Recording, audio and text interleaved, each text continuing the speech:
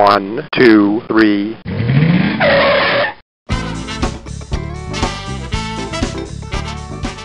Olá, bem-vindo, bem-vindo ao Paladar Distinto, seu podcast de gastronomia.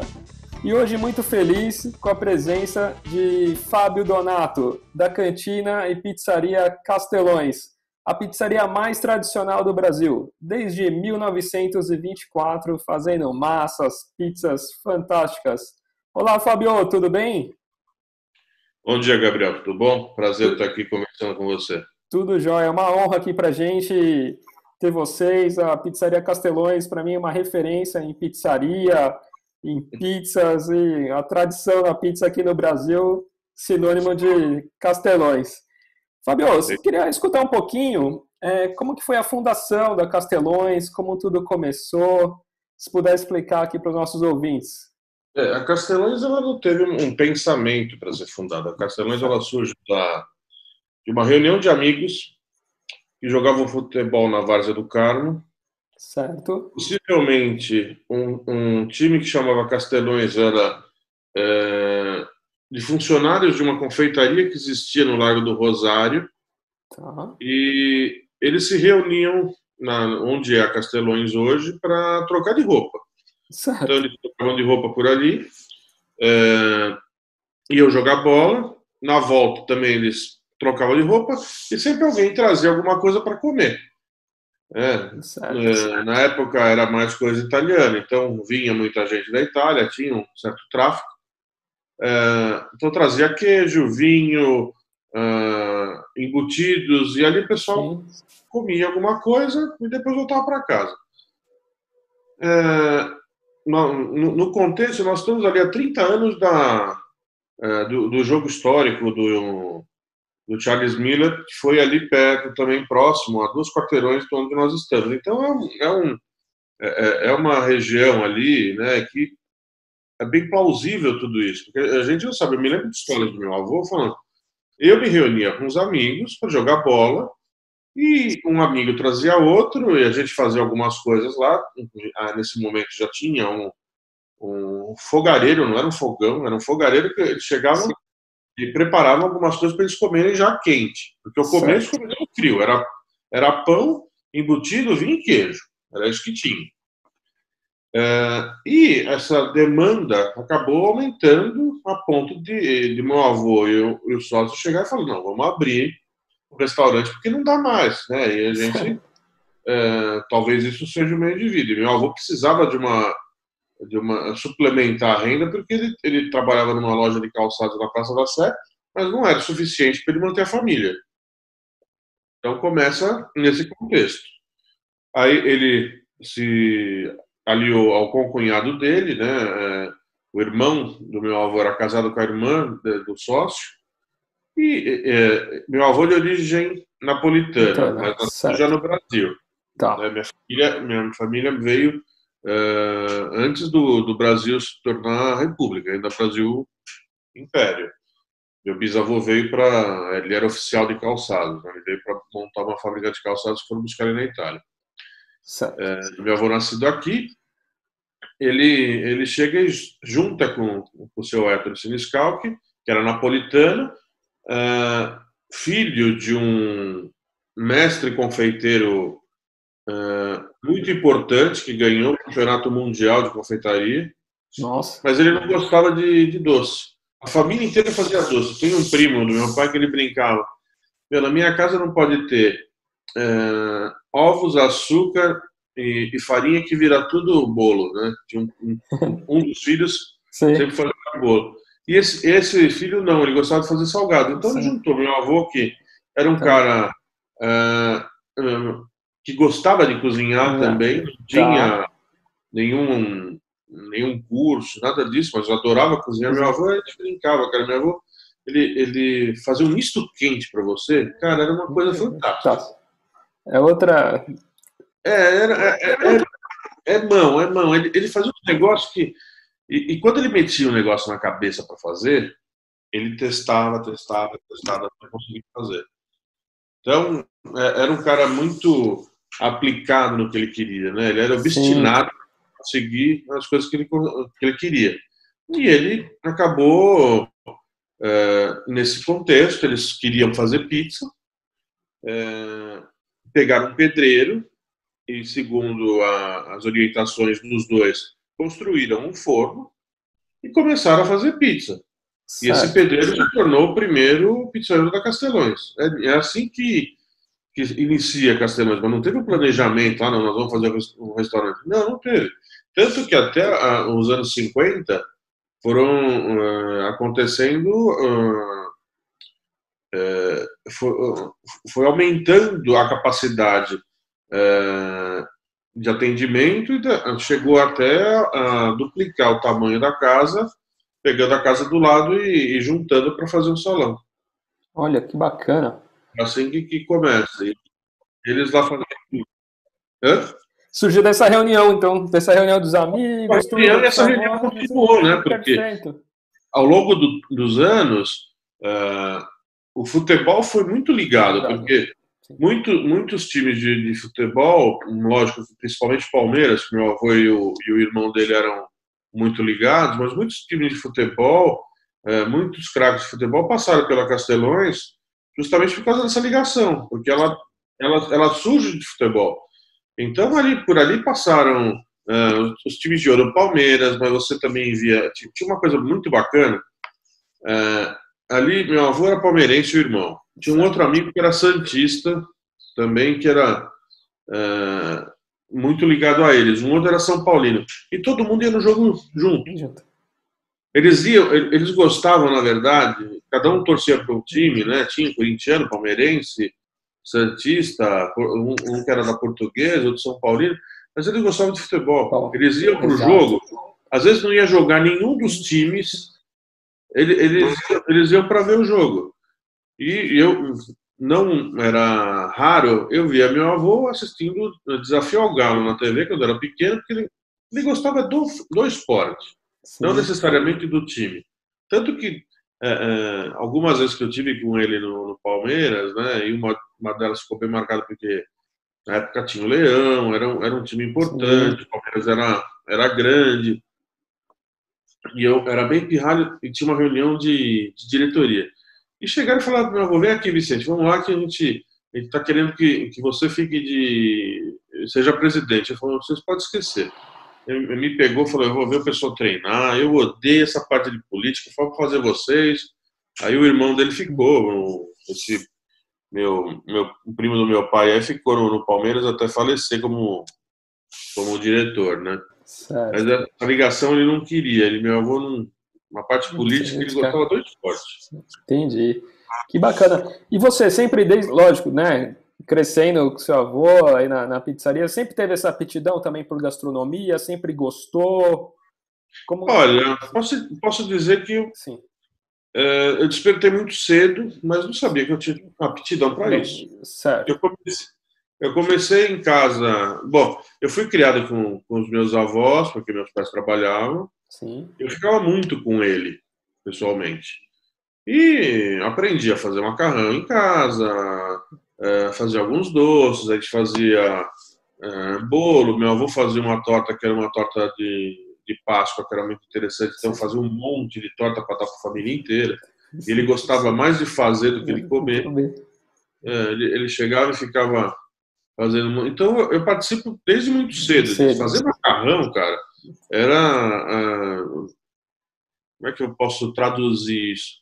Mas era a, a minha forma de me divertir.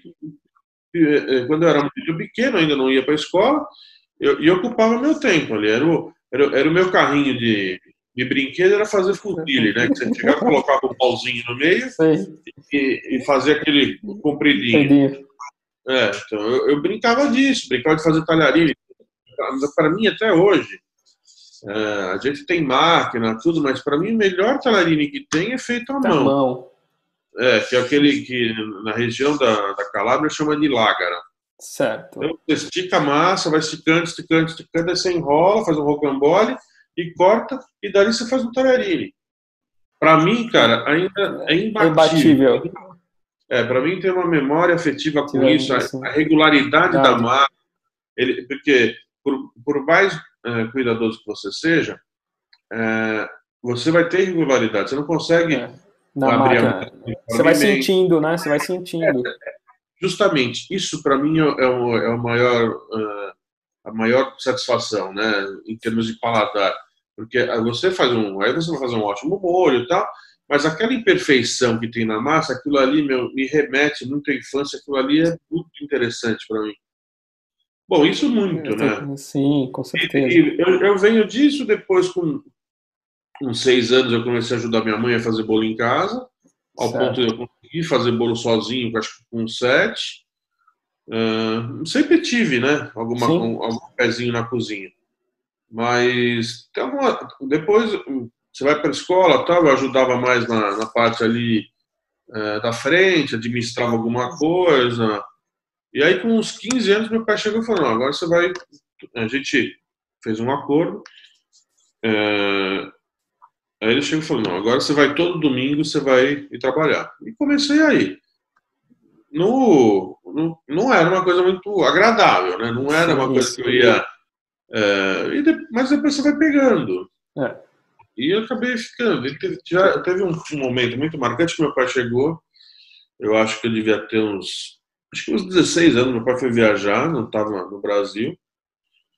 E eu tive um problema com o pizzaiolo que achou que porque eu era muito novo, né? E acho que não me devia respeito. Ele chegou e num, num dia lotado, a cantina estava lotada, fila de duas horas, sabe? É, na época a gente trabalhava com três pessoas dentro da, da pizzaria para dar conta de fazer, de fazer 250 pizzas num dia Nossa. num forno, é, é, num forno só. Então, é, é um, um número bastante expressivo.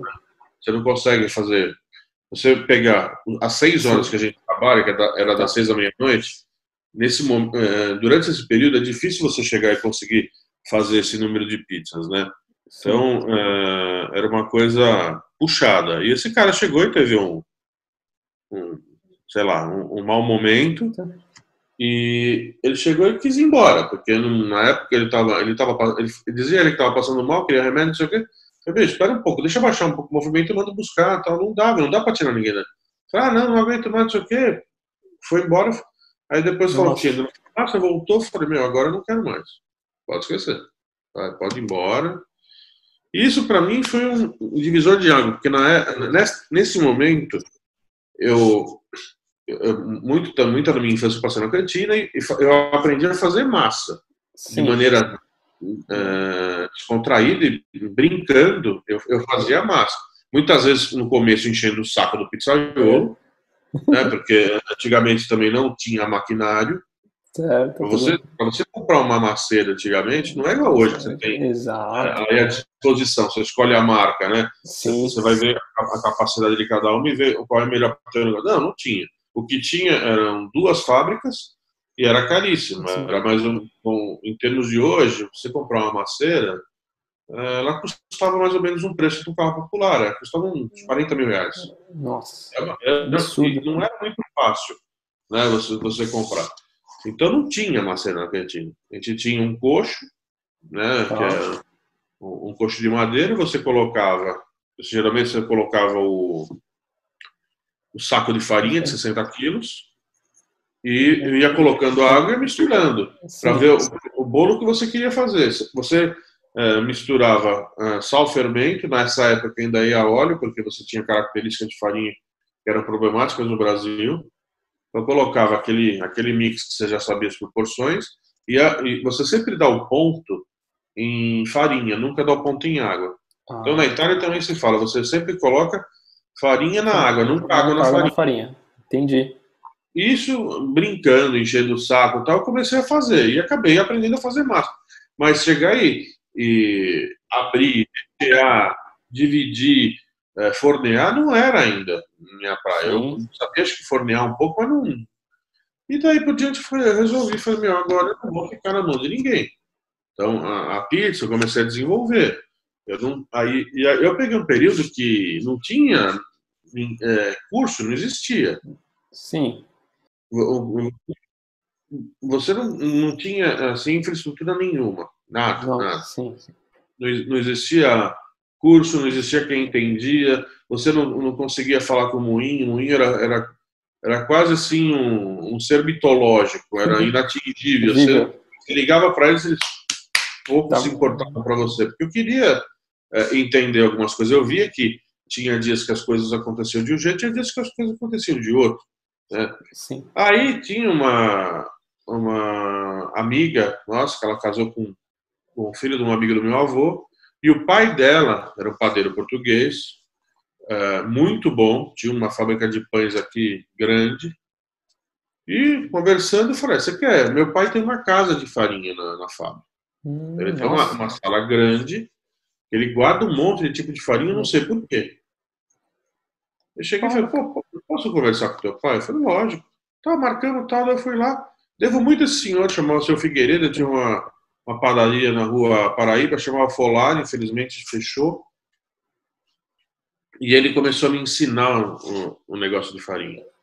Que é o tal do Ele blend, né? Que você comentou, de fazer É, os é. blends de farinha. De você entender o que, o que cada farinha tinha de característica Né, Certo. Então você pegava, você pegava, antes tinha o Moinho Pacífico, São Jorge, Moinho Santista, eh, você tinha mais uns, uns dois moinhos, Tá. eram Sim. Entre cinco e seis que a gente comprava. Na época, acho que ainda tinha um pouco de Moinho Matarazzo. Certo.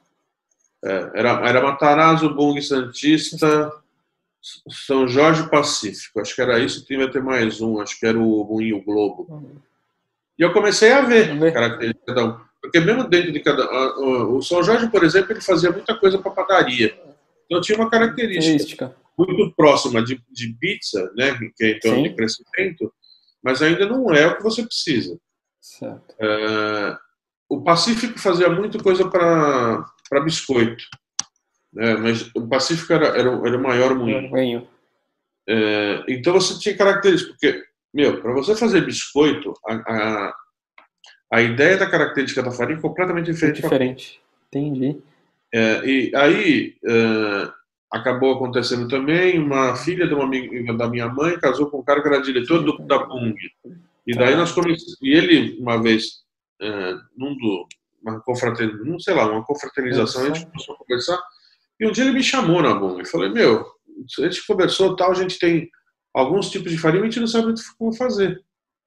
Daí eu cheguei e falei, meu, divide, porque pizza é uma coisa, ah, massa, por exemplo, para pastel e para fazer ah, massa fresca é outra coisa, Coisa. você tem que ter sensibilidade, né? Ela Sim. tem que se estender, porque a, a, o- a malha de glúten tem que se formar de uma maneira diferente. Para panetone, então, é outra coisa completamente diferente. Diferente. Então, e daí, ele, eh, isso daí começou a fazer alguma coisa, tanto que a Bung hoje tem aquela linha eh, direcionada. Nada. Então, você vai ter lá eh, salgados, uma li- tem salgado, pizza, eh, pasta e massa fresca, e eu não sei se tem mais alguma coisa. Então, eh, eu, eu acabei aprendendo a fazer na prática. Sim, Consegui hoje tá muito. laudos, conseguia ler alguns laudos, entender o que, que era e comecei a fazer um, um blend na cantina para a gente chegar e, e- conseguir fazer pizza. Mas eh, até os anos 2000 eh, era muito diferente você diferente. fazer. E antes disso, eu fiz um, eh, eu fui fazer um- uma, uma apresentação num- numa feira alemã e eu fiz um eh, um apanhado histórico do que era. Nossa.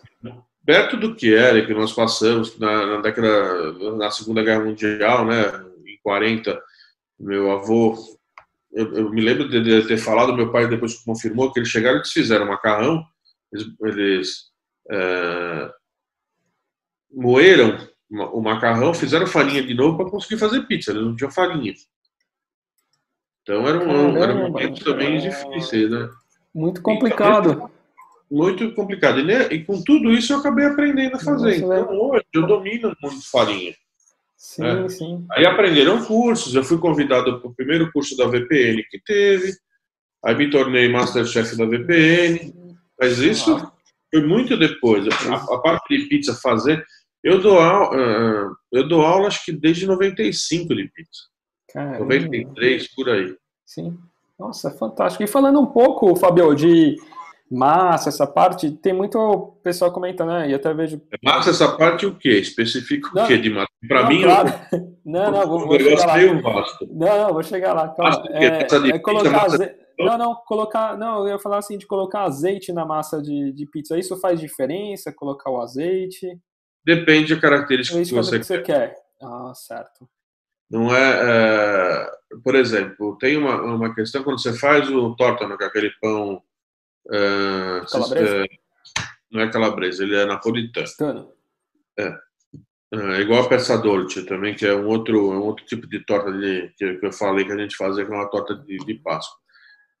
Eu, particularmente, Tá. eu gosto muito do torta quando você coloca azeite. Sim. E eu monto ele, depois que você chega, você faz a trança, você coloca na forma, eu passo bastante azeite em cima do pão, eh, de uma maneira que vai acabar, o, azeite vai indo para baixo. Vai Então ele absorvendo. fica, ele fica dentro da, da forma, fica um monte de azeite. E esse azeite, ele, com, ele vai, vai, vai ficar aí 40 minutos para assar o pão, tal, você deixa ele fermentando, você pode deixar ele fermentando 24 horas. E tem uma outra coisa também, tem, tem muita gente que não sabe que acho que fermentação e maturação é a mesma coisa, são coisas distintas. Distintas. Então você pode chegar e deixar ele matura, a massa maturando eh, 24 horas, você pode deixar ele fermentando outras 24. Entendi. Isso, eh, tem gente que não percebe, tem gente que percebe. É muito sutil a diferença.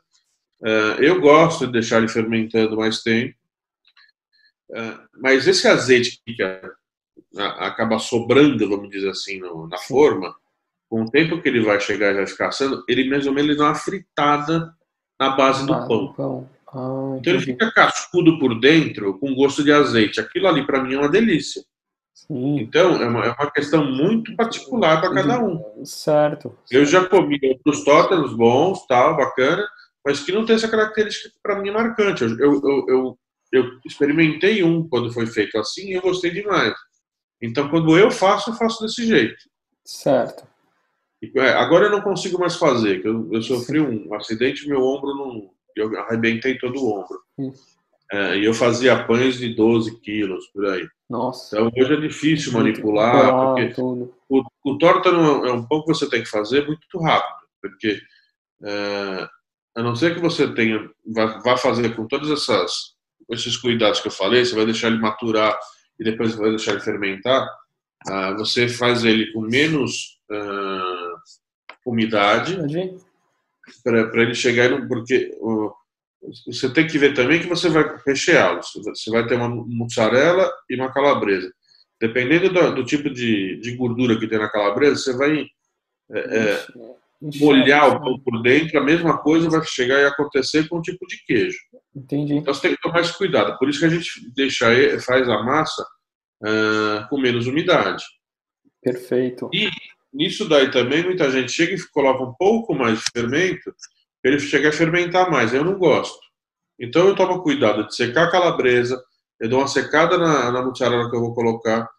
E na hora de abrir, você tem que abrir uma folha muito fina, rápida, para ela não fermentar, porque você vai estar manipulando ele, ou seja, você vai estar aí a, a 30 graus, na melhor das hipóteses, porque você vai ter uma pedra embaixo que vai reter um pouco a temperatura mas ele vai fermentar e você não quer que isso aconteça. Sim. Então você tem que chegar, abrir, rechear rápido, fazer o rocambole, depois fazer as tranças e guardar no menor tempo possível para você não perder fermentação.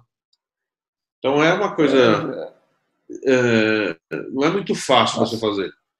E é uma alquimia, né, Fabio? A gente pode dizer que é uma alquimia a massa, né? A mistura fermento, tem que ter toda essa proporção, né? Depende do que você quer. Que você falou, cada Tem tipo. coisa. Você, né? você tem que pensar no resultado que você Final. quer.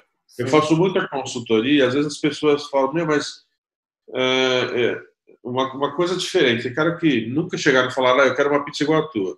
Não é consultoria, Sim. é diferente. É, é uma coisa específica, você quer aquilo ali, tudo se conversa, uma questão de negócio. Outra coisa, o cara fala, vem com sonhar, eu quero fazer tal coisa. Então, se você quer fazer tal coisa, nós temos que desenvolver. Isso.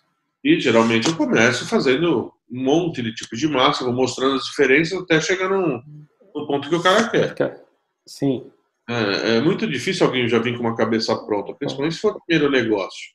Quando você pega um cara que- que já é do, já é do, do setor tal, fala, meu, eu quero que você me faça isso daqui.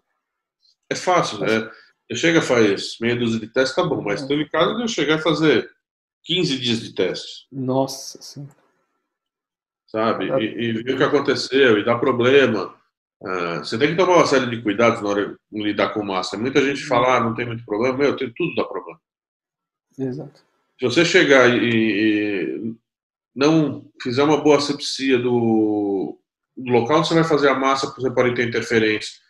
A hora de você lavar a mão, você tem que tomar cuidado que tipo de, de produto você usa, porque o básico né? na massa, é, o básico na massa é você chegar e, e, e fazer controle de pH. Sim. Se você chegar, for fazer na mão ou recipiente, você passa álcool ou sei lá, passa algum tipo de, de produto alcalino, você vai alterar depois do pH. Isso é, é, é uma coisa invisível pode simplesmente chegar e dar muito certo ou dar muito errado. Muito errado. Então já teve uma vez que eu estava fazendo massa para um, uma consultoria e, e daí nós chegamos, fizemos uma massa e a massa do, no dia seguinte não cresceu. Caramba. Tava tudo igualzinho, ou seja, algum no, no processo ou no recipiente tinha problema uh, no, no, que foi armazenado, no que foi produzido, ou uh, a pessoa não esperou, porque você precisa também é, esperar que a massa comece a fermentar para tá. guardar. Senão você pode chegar e fazer ela invernar.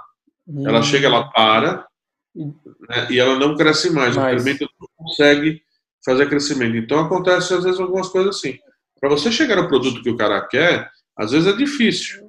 Então você desenvolve um monte de produto antes. E você vai vendo um monte de forma de fazer. Então você pode ser que você chegue e desenvolva um produto por exemplo, na pizza napolitana não pode existir é, azeite. Né? É, você tem um regulamentário napolitano. Existem duas normas na, na Itália. Existe do Ministério da Agricultura, tá. existe a VPN, que é a Verati Pizza Napolitana, que muita gente hoje faz. Ah, é pizza napolitana.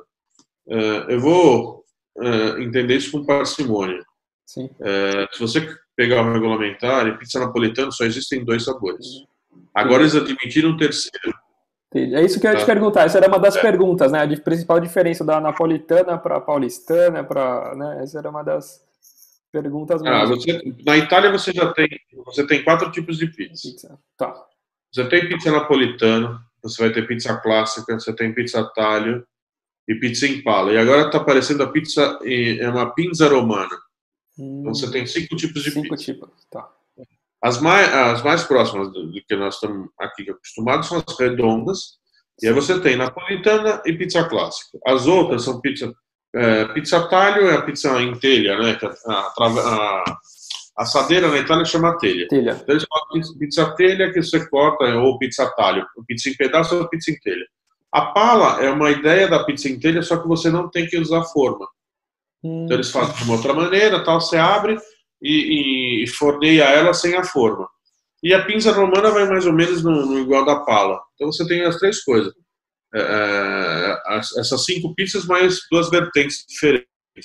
Três para uma, uma pizza que ela é cortada para você vender a pedaço e duas redondas. Entendi. Nas redondas na Itália, geralmente você não consegue é, um, um, uma pizza com dois sabores. Geralmente é sabor único. Isso. Ah, e se tratando da pizza napolitana, ela tem mais regramento ainda. Você tem dois tipos de sabores, que são é marinara e margherita. Tá. tá. E também tem aquela lenda que o Rafael Espósito chegou e fez em homenagem à margherita. É, essa pizza já existia, pelo que eu, eu, eu, eu fiz uma, uma pesquisa histórica. Essa pizza existia desde 1840, mais ou menos, 30, 40 que usavam os ingredientes. Esse, uh, esse, essa pessoa ela chegou, ela só chegou e dispôs de maneira diferente, mas já usava mussarela, tomate e basílico para fazer pizza em Nápoles muito, muito antes do, do que ele fez com a rainha Margherita. Sim. E é, os napolitanos só admitem esses dois sabores, marinara e, e. Agora eles admitiram uma que é com, com mussarela de búfala. Um outro erro também. Né? A pizza napolitana não usa mussarela de búfala. Ela usa, uh, ela usa mussarela fiore de latte. Não é... é... Não é isso. Então a gente erra um pouco, como aqui também o pessoal faz é, burrata de búfala. Burrata não é de búfala.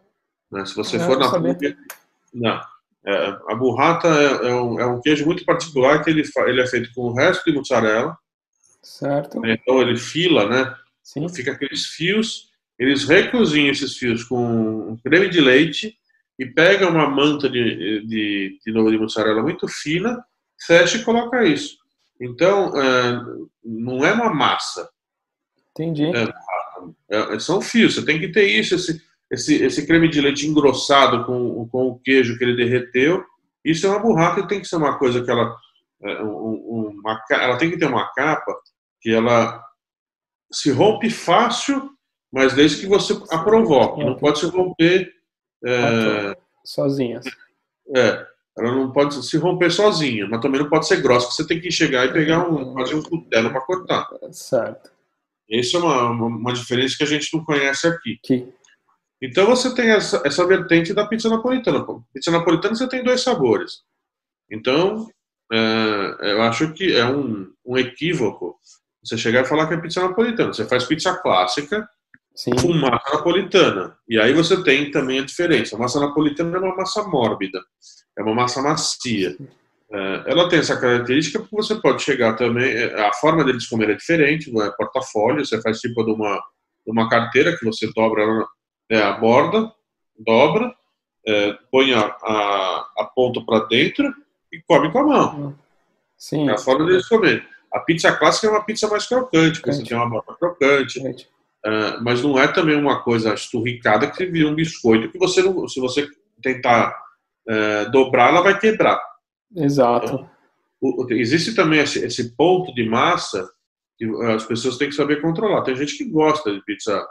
E, e eu, eu não estou aqui chegando e falando, querendo falar o que, que é certo e o que é errado. Gosto. Sim, são, ah, são muitas vertentes, né? É, não, e é gosto mesmo. Eu, é uma coisa idiota. Eu, eu, eu, eu, eh, faço risoto muito bem. Né? Sim. aprendi a fazer ao longo de anos, sigo todas as técnicas e tal.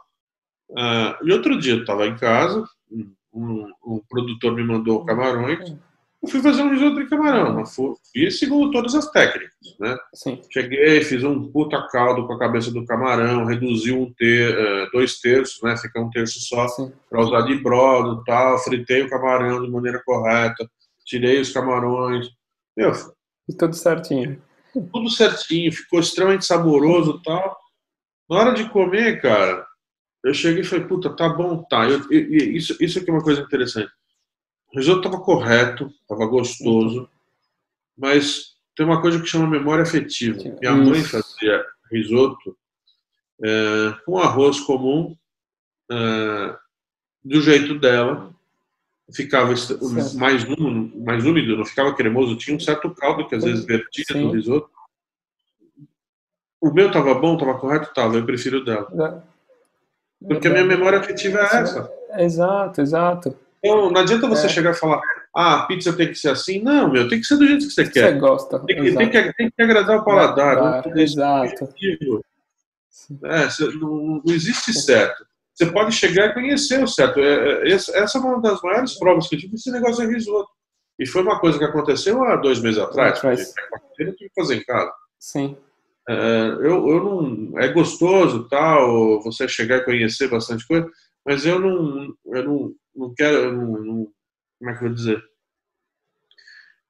É, eu não imponho Isso. nada a ninguém. Sim.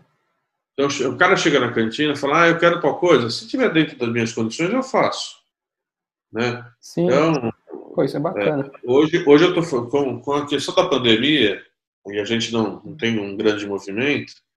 Às segundas-feiras eu dou folga para todo mundo. Fico eu fazendo pizza sozinho. Aconteceu, né, isso daí era na, na- aconteceu mais na época da. ah, e ainda não podia abrir. ah, de eu chegar e algumas pessoas falaram: ah, meu, você não, não faz pizza só você tal, que você faz diferente?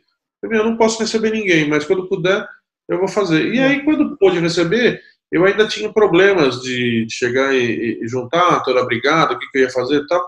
eu comecei a atender sozinho. Né? Algumas pessoas Sim. que pediram. E acabou que toda segunda-feira agora, como eu dou folga para todo mundo, é um dia que eu chego e eu faço um menu especial, que não é fixo. Tá. Ontem, por exemplo, eu fui na feira e encontrei algumas coisas interessantes para fazer pizza. Pizza? Então, hoje, eu tenho alguma coisa lá diferente. É, nunca está no cardápio, e as pessoas vão procurando justamente isso. Então, eu, Exato. lá, eu, eu faço pizza que aqui no Brasil pouca gente conhece, que é pizza branca, que não vai molho de tomate. Mate. Ah, sim. Semana passada tinha, me mandaram um queijo de cabra fantástico, com um cheiro ruim, desgraçado, mas o que- o sabor era É, fantástico. Aí eu fiz uma pizza interessante que eh, até tava um, um descendente de italiano, o cara tem uma tá sempre na Itália e tal, e, e eu fiz uma pizza de queijo de cabra, presunto cru e alite. Nossa. Ele chegou e falou: Meu, certeza? Falei: Experimenta. Se você não gostar, faça outra coisa. Aí ele chegou e falou: Meu, não acredito. ah, e combinou alite com presunto cru. Tá. A pizza tá fantástica. Tá E daí ele chegou e falou: E essa mussarela tá, tá muito legal, mas ela tem. Falei: Não é mussarela, é queijo de cabra. Cabra. É, outro tipo de queijo. Então, ah, eu, nesses dias, eu crio algumas coisas. Então, eu já fiz massa negra. que daí tinha um. é, é, eu fiz maçã negra para um, um cliente antigo nosso, que ele é bem exigente, um cara. A gente chama de chato, né? No, no jargão, mas não é. Ele é exigente, ele sabe o que ele quer e ele, ele quer. E eu fiz a pizza negra tal, com.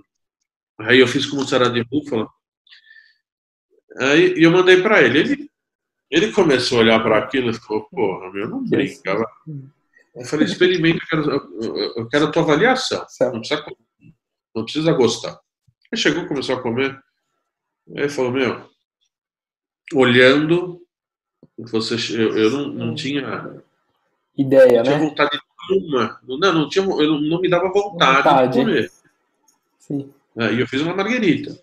Ah, olhando, não me dá vontade nenhuma de comer. Ela é, ela é atraente visualmente, porque ficou a massa negra Negra, embaixo. sim. Eu faço dois tipos de massa negra, mas essa daí era.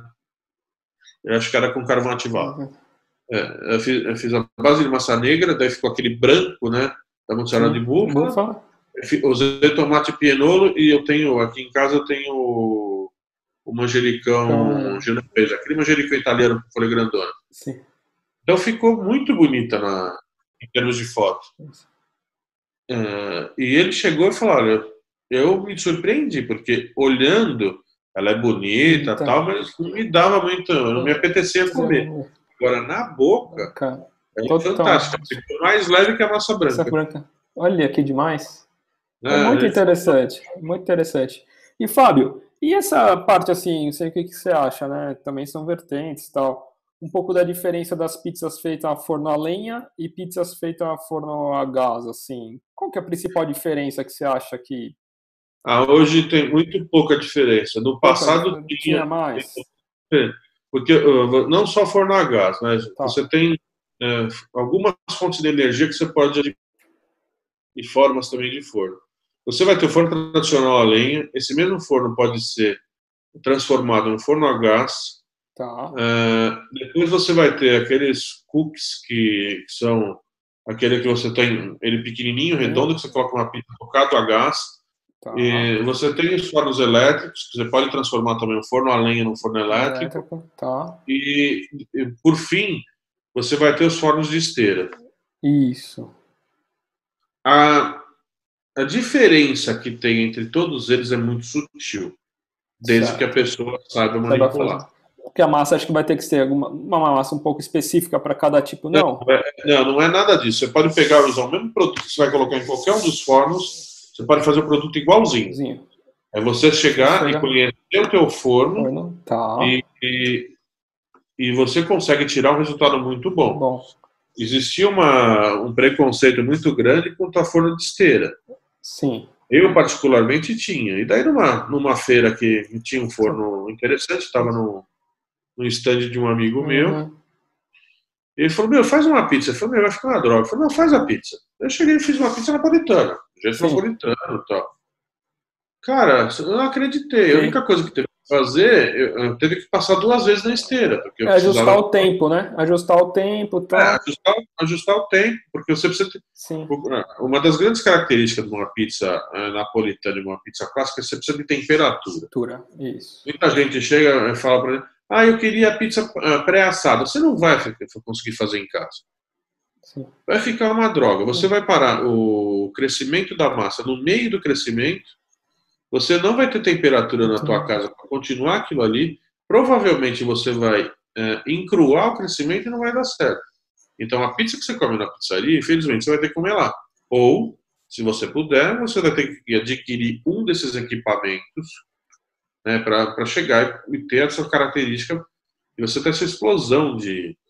Eh, a gente fala de tombo, né? Para crescer a pizza. Senão Sim. você não vai conseguir. Então não, não tem muito milagre nisso.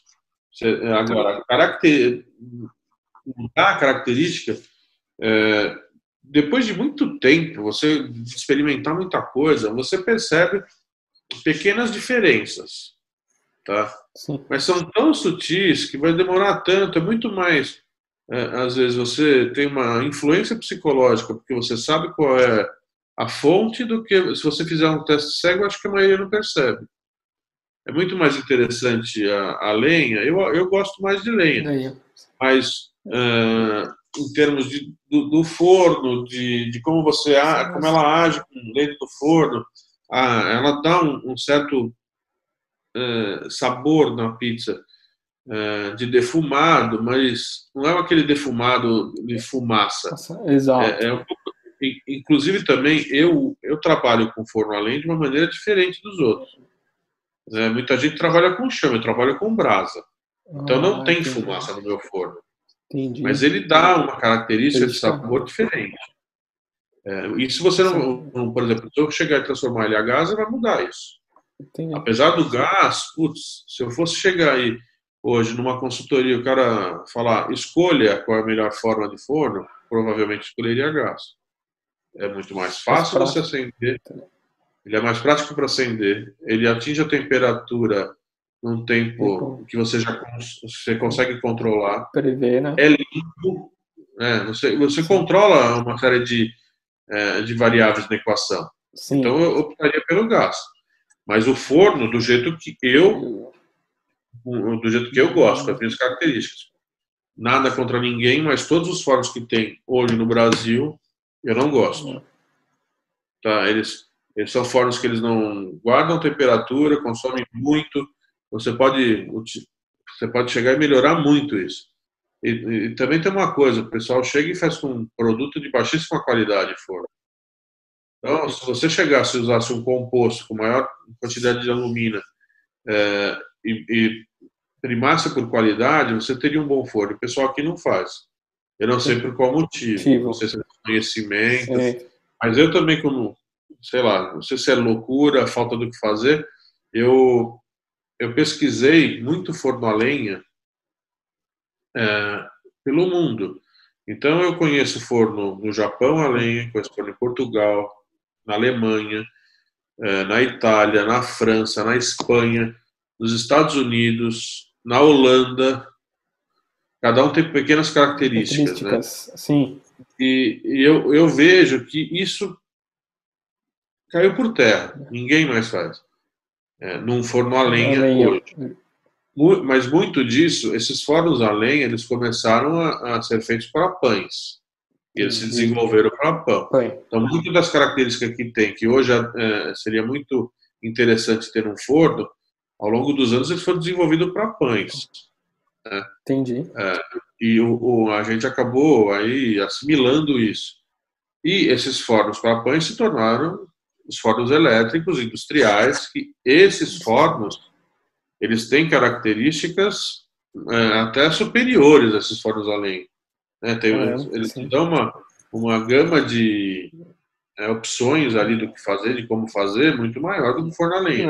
O forno a lenha era limitado nesse tipo de, de coisa. Se você for colocar o for- forno elétrico profissional, um forno a lenha profissional, é, de todos os tempos, o forno a lenha é muito limitado perto do elétrico.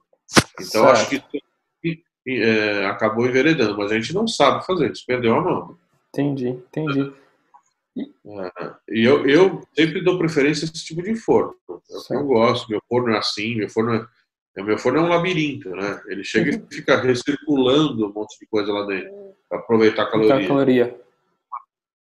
Pô, que bacana. Ô, Fábio, e nessas suas visitas, assim, em outras, né, mundo afora, em viagem e tal, teve alguma pizza que te surpreendeu, assim, pela combinação de sabores, assim, de falar, nossa, esse aqui é um sabor que, eu, exemplo, que nem do, do presunto cru com ali, tipo, putz, eu nunca imaginei que aquilo desse um ah, sempre, toque. Sempre tem negócio que né? surpreende. Né? Sempre tem algum cara que, que você chega. Eu, eu vou muito em. É, toda vez que eu viajo, eu procuro é, na região, eu, eu, estudo um pouco e vejo o que é característica da região, para que isso me sirva de referência é, gastronômica para eu ter o paladar. Sim.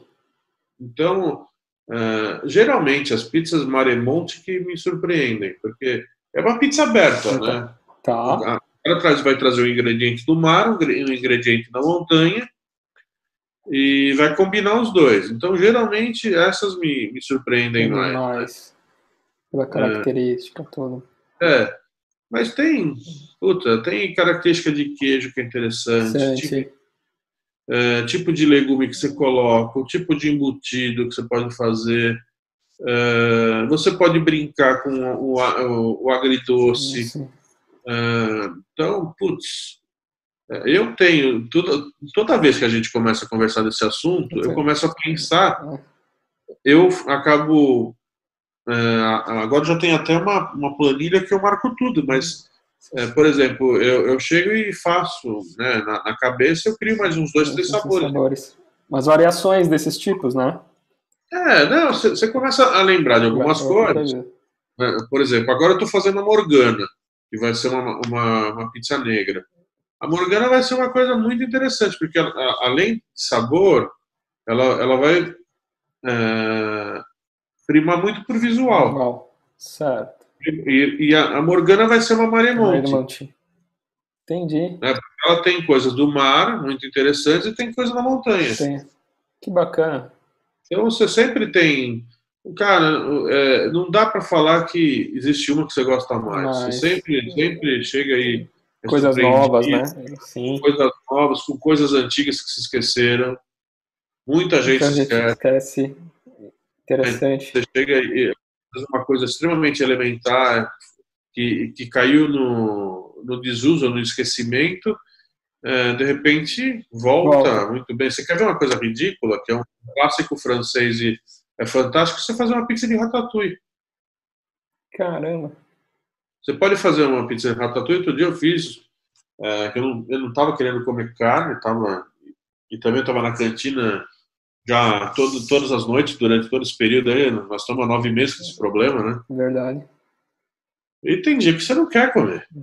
Ah, meu, você, você quer fazer qualquer coisa, mas não comer pizza. Mas não dava. Então eu cheguei, peguei os legumes que eu tinha, peguei abobrinha, pimentão e, e berinjela, eu tinha os alcaparrones, uh, dei, eu dei uma, uh, uh, coloquei eles no forno com um monte de erva fresca e e azeite, fe, fiz um mix com aquilo ali. Aí eu peguei o caldo que sobrou daquilo ali, dos, do, também da, dos líquidos do, dos legumes e tudo que eu coloquei. Eu tirei aquilo ali, passei na base da pizza, porque senão você queima a base. Fiz a, a, a, a primeira, eu fiz ela em dois estágios. Né? Você dá a primeira assada, para ela chegar a estruturar. Quando ela estruturou, aí eu cheguei e coloquei todos os legumes, porque senão você queima o legume. Então, nós estamos falando Verdade. no forno meu forno, eu, eu trabalho com ele, eu prefiro trabalhar com ele a 550, 600 graus. Eu tenho uma forma de, de trabalhar. Eu, eu consigo trabalhar com ele, e o pessoal na, na cantina às vezes trabalha com menos temperatura, sai a mesma pizza. Mas aí, é, cada um tem uma característica de trabalhar. Eu gosto de fazer assim. E nessa temperatura eu ia queimar tudo. É. Entendi. Outra coisa também que eu não sei se eu falei, mas acho que é interessante falar. falar é, quando eu sou um juiz no, no campeonato de pizza, se passar a pizza de um minuto e meio, eu desclassifico. Entendi. Porque não pode. Verdade. Existe uma norma. Tá. Então, você chega e faz uma pizza, se você chega, imagina o pimentão que você fez, a não ser que você tenha tirado a pele dele, que também é outra coisa que é, vai ser um outro caso para a gente conversar. Você vai queimar tudo. A pele queimada é extremamente indigesta. Exato. Então, não dá.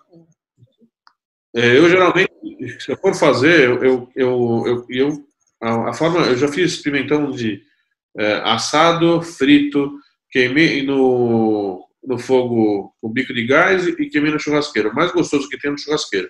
Aí você queima, deixa ele ficar preto, aquela água dele fica dentro dele, ele amolece inteiro, aí você, ele, ele fica todo molengão, com a casca bem preta. Daí você chega e enfia num saco, quente ainda, enfia no saco, o vapor dele vai soltar toda a casca. Você raspa com, com uma faca, teu pimentão está pronto. Tira tudo. Que fantástico. Você tira tudo e, para quem não sabe, o pimentão é gomo. Tá? Cada tá. dobra dele é gomo. Você, você, não precisa cortar. É só você chegar e pegar pela ponta, você abre assim. Nossa. O pimentão abre. E, aqui, justamente o que é muito indigesto no pimentão é aquela parte do gomo. Então você pode chegar e tirar o pedaço branco do gomo, pimentão fica perfeito. Você tirou a pele, cara, é fantástico. Então você pode fazer isso em cima da pizza. Você tira e, e coloca, mas mesmo assim é uma coisa delicada que você não pode deixar muito tempo em cima. Muito tempo. Eu, eu fiz essa pizza, cara, ficou fantástica. Nossa. Primeira coisa, eu, eu, eu, eu cheguei e soltei duas pizzas pro dia da pizza desse ano, que eu fiz pizza napolitana. Eu fiz marinara e, e, margherita com tomate pienolo. Tá. Um tomate pequenininho também italiano. Cara, ficou fantástico. Eu, fiz esse tomate que eu achei outro dia, e daí essa semana um, um amigo também falou: Meu, eu quero que você faça pizza para mim. Aí eu falei: Meu, vou te fazer marinara. Falei: Pô, marinara? Eu falei: É, vou te fazer marinara. Aí chegou e fez e falou: Pô, né? Tava fantástica, né? É, as coisas é, acontecem assim. É, essas pizzas são meio inusitadas. Né? Inusitadas, né? sim. Que legal. Ô, Fábio, para a gente finalizar, você deve ter muitas curiosidades que se passaram durante todo esse tempo na, na pizzaria. Tem alguma curiosidade de algum acontecimento, alguma personalidade que já passaram diversas personalidades, algum caso que você acha engraçado? Não, acho que mais, o mais emblemático foi o Fernando Henrique comemorar a vitória à presidência da República na Castelões. Nossa. Quando ele, ele chegou, recebeu ali um resultado que não tinha finalizado a apuração. Sim, mas, mas tava... naquele momento ele não poderia mais perder, ele chegou, ele já era cliente da gente, gente há anos, anos, né? Sim. E ele chegou, reservou a mesa, ligou e reservou a mesa, a gente não acreditava muito que, que era isso. Que isso. E ele foi bem no meio da noite, foi às 9 horas da noite. Nossa, bem no, bem no meio. E acho que esse foi o fato mais importante. Mais importante. Que bacana. Ele, ele, foi muito. Eh, ele em si é, muito bacana, né? Sim. Ele chegou, todo mundo ficou super contente, aplaudiu na hora que entrou, aplaudiu na hora que saiu, que muita gente trocou, porque ele ficou, não sei se você conhece, a cantina antes tem um salão nos fundos, né? Ela, ela é mais comprida. E ele sempre gostou de sentar naquele salão. Então, ele, ele sentou lá, comeu, ficou aquele burbumbum, mas nos salões da frente é, é, existiu a, a, troca de mesa. Certo. Então, muita gente que estava no, é, no começo, quando ele entrou, já tinha saído e tinha outras pessoas que estavam no, no salão quando ele saiu. Então, o pessoal chegou a aplaudir de novo porque não sabia que era ele. Que era ele. Esse foi, acho o momento mais emblemático, mais importante. É até um negócio interessante. Eu acho que nós fomos o primeiro cara a fazer delivery é, sem saber o que estava fazendo. Esse senhor, à época, ele morava em Fortaleza, ele, ele era de Recife, morava em Fortaleza, tinha é, uma empresa de pesca nos dois lugares. Vale. E ele vinha para São Paulo de tempos em tempos, aí, acho que de cada três meses, quatro meses. Uh, tinha uma, uma, grande amizade com meu avô. E uh, ele chegava, ia para a cantina, no dia que ele estava indo embora, me mandava fazer 30 pizzas para ele. Caramba, 30? É. E ele começou com, começou com menos, né? Fez uns testes, acho que ele levou acho que uma meia dúzia, umas oito pizzas. Deu certo. Ele, ele, eu sei que no final ele levava 30 pizzas embora. Nossa. Aí ele chegava, né, meu, mas o que, que você faz? Olha, eu faço o seguinte, é, como eu tenho um container que vai frigorificado para lá, elas já saem congeladas daqui, Sim. chega lá, eu mantenho no freezer, Caramba. Quando eu quero comer, eu tiro do freezer, de- deixo na temperatura ambiente, ela perde o gelo, não é uma coisa é, muito demorada.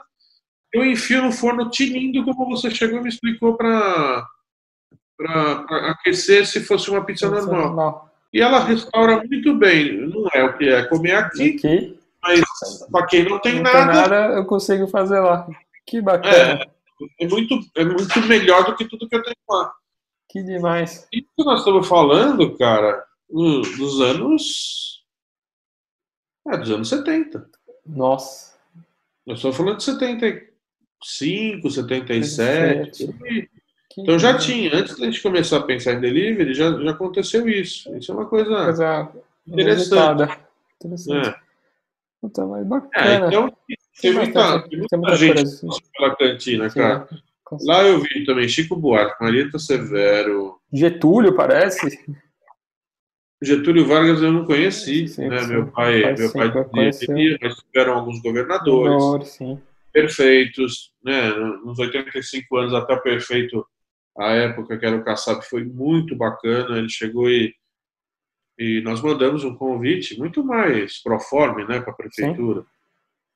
E, nossa, nos causou espécie quanto ele chegou, mandou a assessoria dele falar que ele vinha e veio comemorar com a gente. Então foi muito bacana também isso daí. Né? E, e ele, já, é, ele já vinha né, na cantina, ele já era cliente, mas fazer isso foi muito bacana. Então, ali eu conheci. Muita gente. Tonalidades todas. E, e, você, eu continuo recebendo, porque a gente, muitas vezes, fazem matérias da gente que a gente não fica sabendo. Então, Sim, é, nós saímos de matéria na Alemanha, nós saímos de matéria na, na Itália, nós saímos de matéria em Londres. Então, a última Nossa. que teve foi do The Guardian, que ele fez uma matéria, de, de repente, é, começou a vir um monte de inglês é, comer na cantina. Sim. E foi um dia eu cheguei, conversei com o cara, falei, ah, bacana, tal, tá vindo passear, mas quem que te indicou a primeira vez? Alguém te indicou? Ele falou, não, você saiu numa matéria do The Guardian. Guardian. Nossa, que prestígio. Eu cheguei e fui procurar o que, que era a matéria e tal. Sim. Então, muitas vezes eu fico sabendo de matéria que aparece é, porque o Depois, cliente né? fala. É, muito depois. Sim. Que legal, Fábio. Pô, que bacana. Demais. Mas, Fábio, gostaria de agradecer muito aí sua disponibilidade, né? E todos que. Ah, a gente sabe o quanto que é difícil o dia a dia, né? Na cantina, na pizzaria, em restaurante como um todo, né? O dia a dia é muito corrido, né? E você se É dispôs a, se dispôs a gravar até desde o início o convite que eu fiz para você. Eu pô, sou fã demais. Eu, pizza, eu adoro pizza e poder falar com vocês e ter essa, essa entrevista para os nossos ouvintes aqui foi muito legal. Então eu gostaria de te agradecer É muito prazer, pelo. Gabriel. É prazer, e tudo que precisar, se puder ajudar em pizza, eu estou sempre à disposição. A gente, Sim, cara, eu não, eu não, não tenho problema em chegar e, e, e ajudar, né? ah, Parar um pouco, conversar, sempre é bom, a gente esclarece, tem novas ideias. Sim, Às vezes as pessoas têm dúvida, a gente pode também sanar algumas dúvidas, é, é, acabar com alguns preconceitos, então sempre é, é válido. legal. E, para divulgar para os ouvintes, o Instagram da, do, da Castelões é Cantina Underline Castelões, Isso. né? Com o Fábio. Muito obrigado. E na Rua Jairo, é no Brás, né, Fábio? Rua Jairo Góes, né? No Brás, é. É no- na, na parte antiga do Brás, não é na parte de confecção. Tá. É uma travessa da Rua do Gasômetro, na Rua Jairo Góes, número 126. Isso aí. É, meio, façamos, meio perdido ali. façamos o convite aí para todos provar essa maravilhosa pizza. E quem e quem está ouvindo o broadcast, por favor, me procure para a gente saber o que, que gostou, o que, que não gostou e a gente tentar atender da melhor maneira possível. É isso aí. Estamos terminando aqui com Fábio Donato, Pizzaria Castelões. Muito obrigado, Fábio. Grande abraço. Gabriel, obrigado. Tchau, tchau.